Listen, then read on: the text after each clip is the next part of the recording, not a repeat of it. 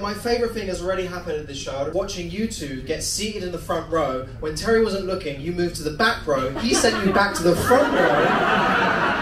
Just reluctantly walking back like two little school kids. Just like, I'm sure I'm an adult, I don't have to do what I'm told. Terry's like, sit in the fucking front row. All right, I'll go back there then. Uh, and you're partners? No. Oh, that's awkward. how do you, what, you just friends? Yeah. Oh, okay, you're just friends. All right. You're saying just friends. He's like, we'll see. We'll see about that. Were you expecting someone to sit here, or no? He's just booked that seat out so that he can get you to himself. How do you know each other? A, a long time ago. That wasn't an answer to my question.